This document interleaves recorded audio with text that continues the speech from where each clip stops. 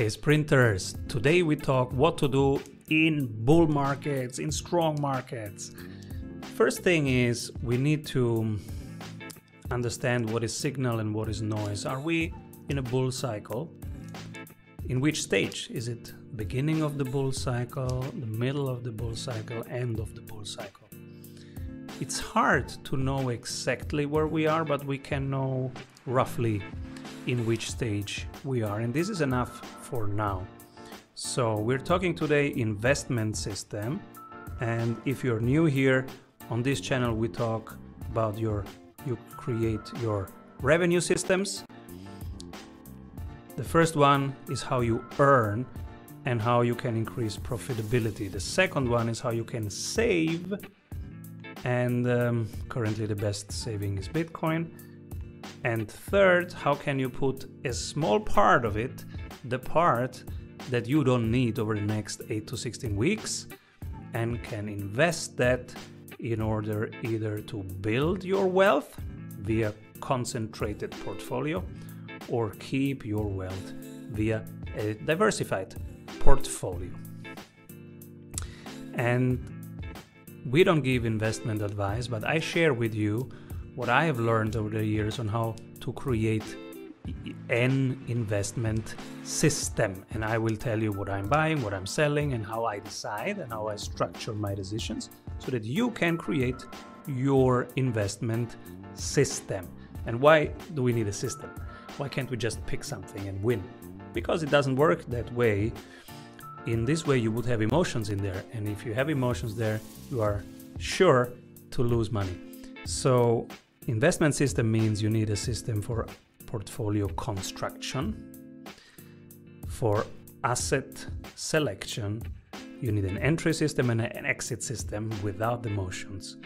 You need a research system when a buddy says, "Hey, this gone, this is gone now 100x." Oh, really? Let me go through my 10 points research checklist and I will tell you in an hour if I believe it also or if I found some signals, uh, some some red flags.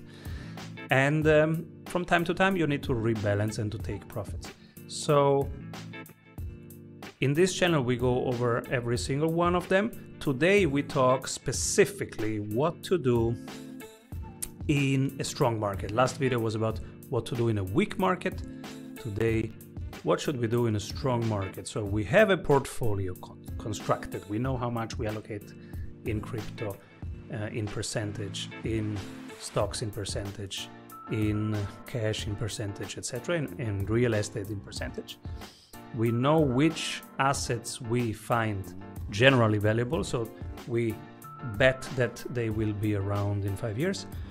We have an entry system, we have an exit system, and we know how to research, and now it's about rebalancing. So we I do this every Sunday, half an hour. I look at the markets while my kids sleep. I look at the markets, and um, and then I look at the at, at my overall portfolio construction. If you don't know it, it looks like this. So, what's my cash percentage, my crypto percentage, my alternatives, my real estate, and my stocks? And what's the ideal? And uh, do I need to do something? What's the gap? And if the gap is, for example, here like a 10% gap, then I look at that category and go through that category to rebalance. Now, in a strong market, we just don't buy anything. Strong market is time to take cash, to, to take profits, to build cash positions, because the next bear market will come. Things always evolve in S curves. So you have always a, a curves, cycles going, and while one cycle starts, the next cycle ends. So you have always wave, waves, and wave formation stages. And uh, in a bull market, the cycle is, is an up cycle, and in the bear market, the cycle is a down cycle. But the waves will always be in an S shape and they will always go up and then go down again and the next wave goes up. like the ocean.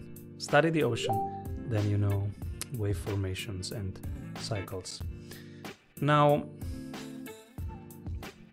what do I do during a strong market? I buy nothing and I review all the growth rates. So I go through my assets and see which one was growing at how much percentage. In order to do that, you need to create, I have a spreadsheet that you can use. It's at strategysprints.com slash tools and you can download my spreadsheets because it has the cost position, when did you buy, and the percentage growth rate since then. And so it's all ready, you don't need to build a spreadsheet. I like building spreadsheets, so I built one for me and I'm sharing it with you. And um, then, so I see exactly, oh, this went up 112%. Hmm, okay. And then I review my assumptions on risk. So, are my assumptions on risk still valid? For example, this is an assumption on risk. I think that the the most safe asset right now is Bitcoin, but also the reward will be lowest.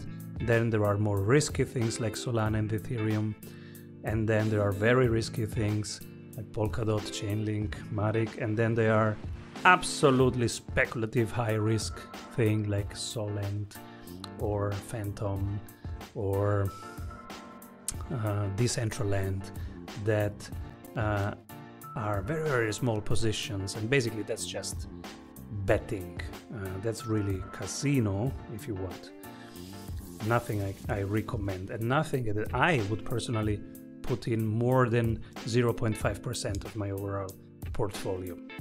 Now, review assumptions on risk. Is the risk curve still like that? Is it true? Did something change? Am I biased?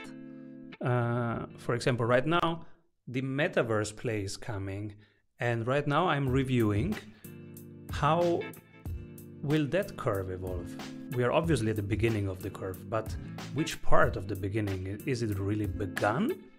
Or is it at the very, very, very, very, very, very pre beginning? So, um, where are we in that curve? How long will that curve last? Is it five years? Is it 10 years?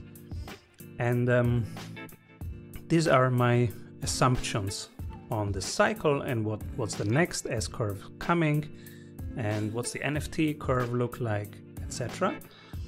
So review assumptions on what to hold. Right now, it's very clear for me. I hold forever Bitcoin.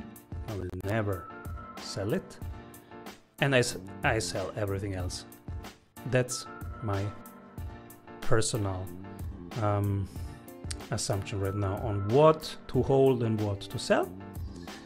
And so the risky stuff I sell, and the depreciating stuff I sell, and the appreciating safe stuff I hold. And the only safe appreciating thing right now is Bitcoin, according to my numbers. And do your own research and find your own numbers. And then what happens is whenever something doubles, so grows by 100%, I sell 50% of the shares of the asset when it doubles again, I sell 25%, and when it doubles again, uh, I'll sell 12.5%, etc. ad infinitum. One example recently, uh, I bought 100 Tesla shares at 301 in in August 2020. I then Tesla reached in December uh, $602 per share. I sold 50 shares. It reached $1,204 in November 2021. I sold 25 shares, and whenever it would hit 2,400, I would sell 12.5 shares. Now, why I have picked this kind of exit strategy and not others, and how you can pick your own I think the important thing is that you leave emotions out. So you need a system that you can trust based on numbers, based on reality, on what's really going on, and not based on, you know, I feel now a rush to do something or I have to do something. As soon as you feel that, stop doing whatever you do, go back to your system, go through your checklist, do one step after the other. So, no emotions in investing, just reality. And this is something that helps me. So, I don't, even if I'm super excited about something, I go through the checklist. It takes me half an hour to an hour to do it. By that time, I'm I'm emotionless again, and uh, I'm I'm more rational. And um, this is what to do in strong markets. Basically, keep cool, buy nothing, and learn. Learn from your observations. Learn because it will take you years to learn the main thing. What is the main thing? The main thing is what is signal and what is noise.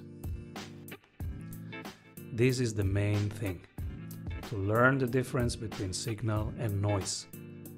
What is noise? All the everything that has a dog on it is noise basically.